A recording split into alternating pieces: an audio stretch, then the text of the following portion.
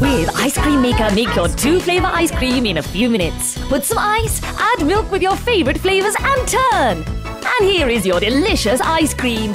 Double flavor, double fun. Decorate your ice cream cup as you prefer. The two flavor ice cream maker is only AMAV.